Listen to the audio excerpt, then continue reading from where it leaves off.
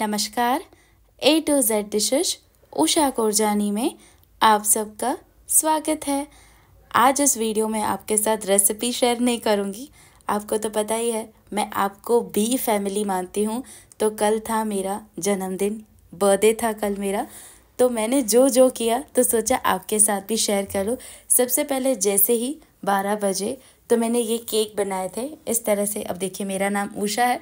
तो मैंने इस बार सोचा कि चार तरह के मतलब चार अलग अलग पूरे वर्ड लेटर के केक बनाए मैंने। उसे कट किया, पूरी फैमिली के साथ मस्त इन्जॉय किया फ़ोटोज़ क्लिक किए थोड़ा सा डांस किया। तो बस ऐसे करके रात हमारी अच्छे से गई। फिर उसके बाद जैसे हम सुबह को उठे तो मेरे प्यारे हस्बैंड ने मुझे सरप्राइज़ दिया ये बढ़िया से कैफ़े में गए बुक किया था उन्होंने और देख सकते हैं कितना सुंदर सा डेकोरेशन है। साथ ही साथ में ये एक और केक कट किया। अब देखिए बर्थडे यानी कि तीन चार केक तो पक्के ही होते हैं। मतलब वहाँ से केक वहाँ से केक आते जाते ही रहते हैं। तो बस वहाँ से हमने केक वेक कट किया, खाया, अच्छे से सेलिब्रेशन किया। थोड़े बहुत रील भी बनाए अब मेरे इंस्टाग्राम में जाकर देख सकते हैं। और मुझे ये डेकोरेशन इतना बढ़िया लगा ना। तो बस इस तरह से सेलिब्रेशन हुआ। अब देखिए, कितने भी मज़े कर ले, पेट पूजा तो पहले। तो बस इस तरह से हमने ये अच्छे से सेलिब्रेशन किया फ़ोटोज़ वोटोज़ क्लिक किया और ये कैफ़े इतना बढ़िया था ना, इतना मज़ा आ रहा था ना। हम चार ही थे बट बहुत मज़ा आया। तो बस इस तरह से आप देखिए, कितने बढ़िया बढ़िया, कितना सुंदर सुंदर है।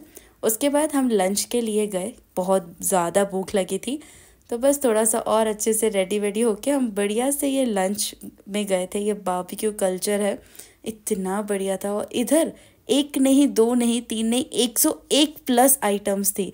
यहाँ पर आपको चाट, मीठा South Indian Mexican Italian pizza सबसे ख़ास था ये बारबेक्यू मतलब बर्थडे पर इतना अच्छा अच्छा और हमें क्या चाहिए? ढेर सारी ब्लेसिंग अच्छा अच्छा खाना फैमिली का साथ रहना, इससे अच्छा और क्या ही चाहिए? और सबसे फेवरेट मुझे लगा ये पिज़्ज़ा तो मैंने पिज़्ज़ा भी खाई गार्लिक ब्रेड भी, और गार्लिक ब्रेड पर देखिए ये मैंने बढ़िया सा हैप्पी बर्थडे लिख दिया हैप्पी बर्थडे मी तो अपने बर्थडे पर आप भी बहुत सारा इन्जॉय कीजिए, क्योंकि एक बर्थडे ही है।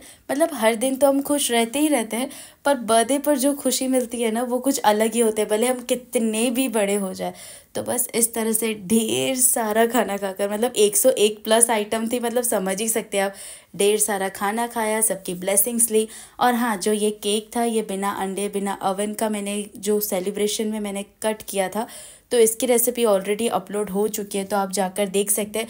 और कोई भी नाम का आप ऐसे बना सकते हैं तो आपको ये छोटा सा सेलिब्रेशन कैसा लगा कमेंट्स में ज़रूर बताएँ। Thank you for watching